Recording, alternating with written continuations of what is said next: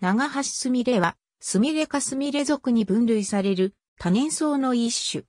巨が、くちばし状に非常に細長く目立つことが特徴で、和名と別名の天狗スミレの由来となっている。草丈は10センチメートル程度のものから立ち上がって20センチメートルほどになるものもある。全株無毛。束性するが花後に地下茎が長く伸びて大株となる。地下茎は木下、硬く、飛行し、横たわり、分子する。根小葉は遠心型、急に尖り、長さ2から4センチメートル、基部は深い心形、円の虚子は低く。形容の表面は能力色で、やや厚く光沢があり、越冬した根小葉は黒みを帯びる。傭兵は長さ2から5センチメートル。傭兵の付け根に卓葉があり、京卵上長楕円型で、長さ1センチメートル、幅の狭い裂片に、羽列し、乾くと赤褐色になる。花柄は、根生と茎状につく。花柄の上部に小胞がある。花は、薄紫色か、薄紅紫色、立ち壺すみれに比べて若干赤みが強く、直径1.5センチメートルほど、平たくて潰れたような形になる。花の中心部には、不鮮明な絞りが入るものが多い。額辺は高皮神経。花弁は長さ12から14ミリメートル。側弁は無毛。巨は長さ10から30ミリメートルで細長く、様々な方向に曲がっているものが多い。巨の一部をかじって蜜を盗む昆虫が確認されておらず、この非常に長い巨が糖蜜を防ぐのに役立っていると考えられている。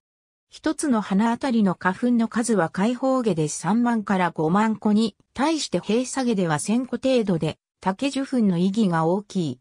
夏季は4月上旬マイナス5月下旬。アメリカ合衆国ニューヨーク州、オノンダガ郡に分布する長橋スミレ北アメリカ東岸と日本に隔離分布している。日本では北海道南部と本州の島根県までのある地に日本海側に分布する。太平洋側にも所々に飛んで分布している。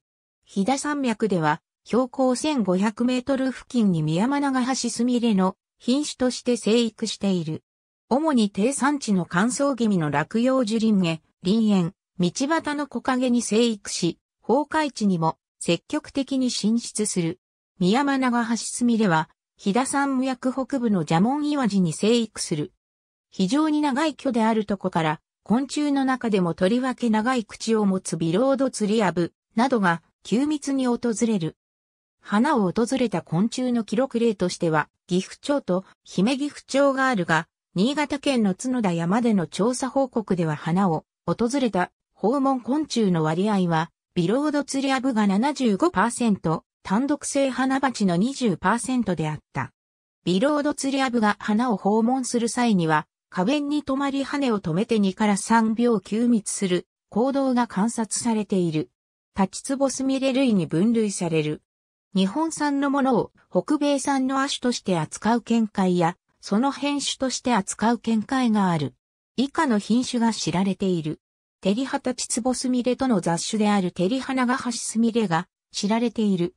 岩手県では、マキノスミレとの交雑種である新雑種が確認されている。